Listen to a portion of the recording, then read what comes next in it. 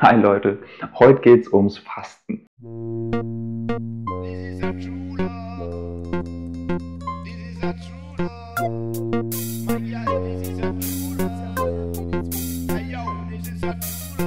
Besonders wenn du das erste Mal fasten möchtest, möchte ich dir heute nahebringen, was dabei wichtig ist, was du beachten solltest und wie du am besten fasten solltest. So, und zwar, ich möchte mal meine eigenen Erfahrungen einmal teilen und dann auch die Erfahrungen, die ich immer wieder in Gruppen bei Retreats gemacht habe, wie auch zum Beispiel beim letzten Retreat auf Sri Lanka oder letztes Jahr im Herbst.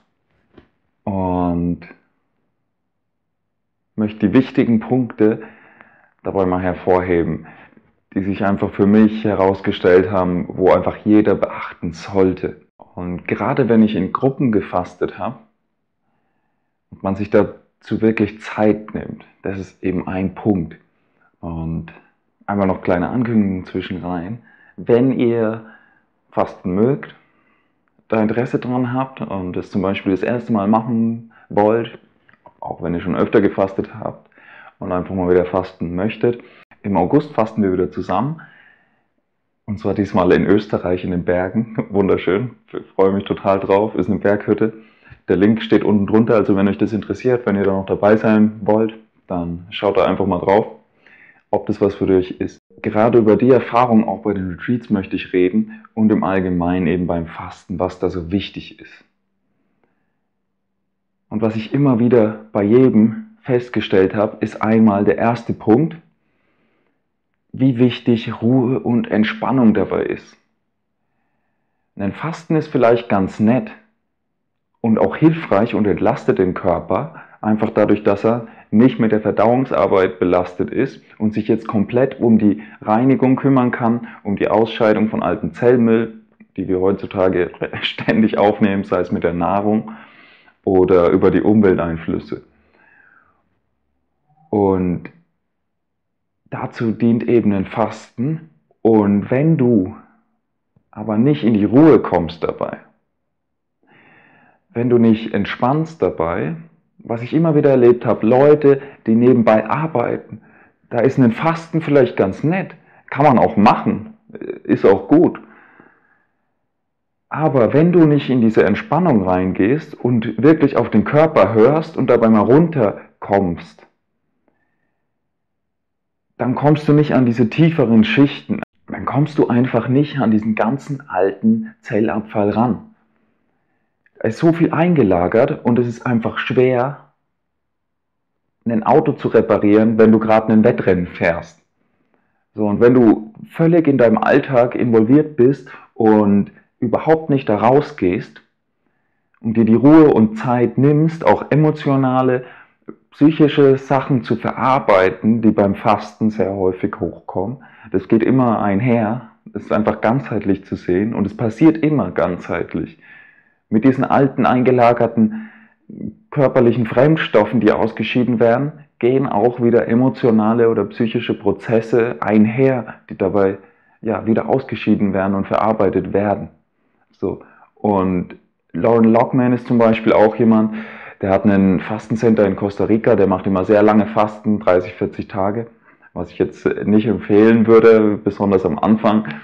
Also kann man auch machen, aber dazu muss man sehr entschlossen sein und ich denke, für die Masse, für die meisten ist es am besten, kürzere Fasten zu machen. Ist einfacher, ist dauerhafter. Und er macht zum Beispiel nur Fasten mit completely rest, sagt er immer also sich komplett auszuruhen. Und ich habe das auch immer wieder beobachtet bei mir selber. Der Körper geht gar nicht in so eine tiefe Heilung rein, wenn du dich dabei nicht ausruhst. So, du entlastest natürlich deinen Körper, wenn du zwischendrin einfach mal einen Saftfasten machst, auch neben der Arbeit. Ist auch ganz schön und nett. Der Körper ist einfach nicht mehr so viel beschäftigt, nicht mehr so viel belastet mit, äh, ja, mit schweren Mahlzeiten, die man sonst vielleicht zu sich nimmt und du funktionierst allgemein besser, du brauchst weniger Schlaf meistens. Aber der Körper geht dann, wenn er nicht in diese Ruhe kommt, nicht in diese Reinigungsprozesse so tief rein. Und das würde ich einfach jedem empfehlen, sich wirklich beim Fasten die Zeit und Ruhe zu nehmen. und dann langsam anzufangen. Du kannst auch erstmal 24-stündiges Fasten machen. So, dann lässt du mal das Abendessen weg, isst mittags um 12 und dann bis zum nächsten Tag. So, einfach klein anfangen. Weil der zweite Punkt, der mir absolut wichtig ist bei einem Fasten, ist immer der, dass es dauerhaft gemacht wird, dass es dazu dient, den Körper wirklich zu reinigen, zu entlasten und dass es kein Wettkampf ist. So, das heißt, du solltest danach deine Ernährung umstellen. Es bringt nichts, wenn du dir ständig irgendwie Mist reinschiebst und irgendeinen Quatsch isst, alles andere total ungesund lebst, dich nicht bewegst, keine frische Luft atmest und ja, unter Dauerstress bist und dann mal kurz fastest oder länger fastest. Das Wichtige ist dann dauerhaft die Ernährung umzustellen. Fasten ist immer ein schöner Reset-Punkt. Die Sinne sind danach wieder so fein und scharf und dir schmeckt einfach nur ganz einfache Frucht, eine Erdbeere, egal was, es schmeckt so genial danach. Ein Schluck Wasser schmeckt danach genial nach dem Fasten. Die Sinne werden wieder ja, zurückgesetzt. Die Zunge wird viel empfindlicher. Und so einem Fasten, gerade wenn du mal kurz fastest, zwei, drei Tage, eignet sich immer super, um danach die Ernährung umzustellen. Lieber nicht zu lange, also davon würde ich immer am Anfang abraten, weil dann fällt dieser Punkt der Dauerhaftigkeit oft weg. Dann ist es wieder so ein Hin- und Herschwanken zwischen den Extremen.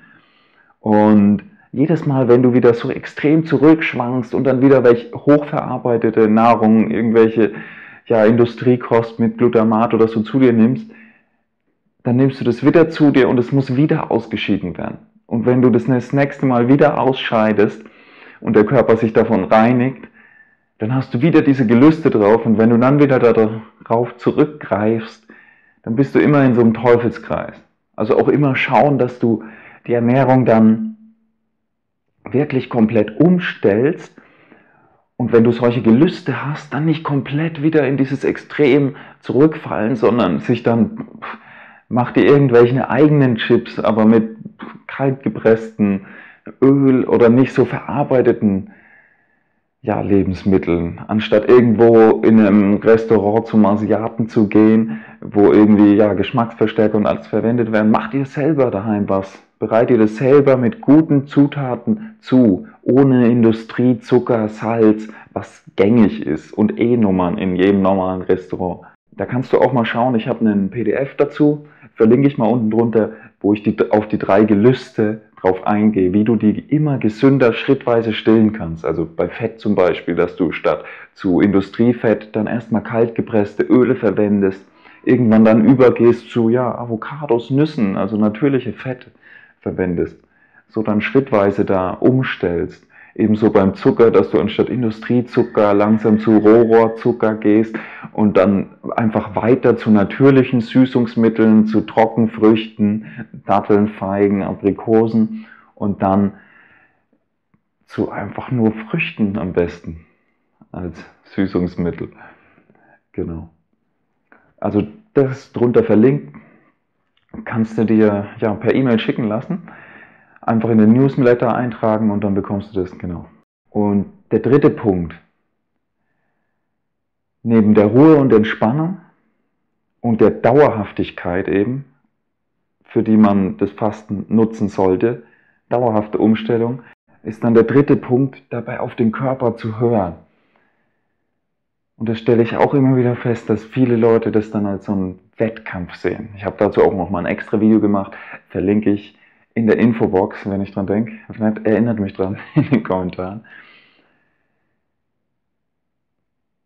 Es ist kein Wettkampf. Fasten ist kein Wettkampf.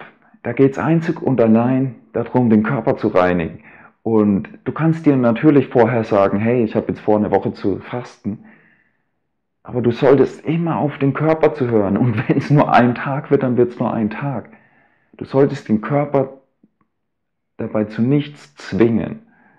Das ist dann wieder kontraproduktiv. Wenn dein Körper was verlangt, dann isst was. Aber du solltest dieses Hungergefühl auch nicht falsch deuten. wenn du so ein starkes Hungergefühl hast, ist es häufig am Anfang nur die Reinigung, die Organe, der Darm zieht sich erstmal wieder zusammen und kommt in seine ursprüngliche Form und entleert sich erstmal richtig. Und es wird häufig als Hunger gedeutet. Früher dachte ich auch, wo ich noch nie gefastet hatte, ich hatte alle zwei Stunden Hunger und dann schon dieses Magenknurren. Und dieses Magenknurren, das viele kennen, ist häufig überhaupt kein Hunger. Das heißt, wenn es dann zum Fastenbrechen hingeht, schau, dass du da drauf hörst, ob es wirklich Hunger ist oder ob das nur ja, ein Reinigungsprozess ist, ein Entleerungsprozess. Warte am besten zwei Stunden, wenn du wirklich Hunger verspürst. Zwei Stunden kann jeder warten. Und es ist normalerweise als Mensch wirklich möglich, dass du mal ein paar Tage nichts isst. In der Natur war es auch so, da gab es nicht immer was zu essen. Und es sollte normalerweise kein Problem sein. Das heißt, du kannst, wenn du Hunger verspürst, erstmal zwei Stunden warten. Ein, zwei Stunden warten, so. Und wenn du dann immer noch diesen totalen Drang nach Essen verspürst, so, dann brech irgendwann das Fasten. Das ist dann auch nicht schlimm. Genau.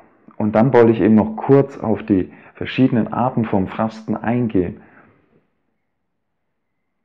Und auf die Dauer. Also ich würde, wie gesagt, ganz klein anfangen und dann kannst du dich lieber steigern. Wenn du mal so ein 24-Stunden-Fasten gemacht hast, dann kannst du das nächste Mal mal, ja, zwei Tage machen oder dann mal drei, vier. Mach das lieber häufiger, regelmäßig, vielleicht einmal im Monat, mindestens ein Fastentag einmal im Monat. Also dann hast du schon mindestens zwölf Tage im Jahr gefastet. Das ist viel effektiver, dauerhaft dran zu bleiben und dann auch dauerhaft die Ernährung in eine gesündere Richtung umzustellen. Weil es bringt nichts, immer weiterhin ja, Müll in sich reinzuschaufeln und dann ab und zu wieder zu fasten, um es wieder loszuwerden. Sinn dahinter sollte immer sein, seinen Lebensstil dauerhaft zu ändern und dann ganz neue Geschmäcker zu entdecken.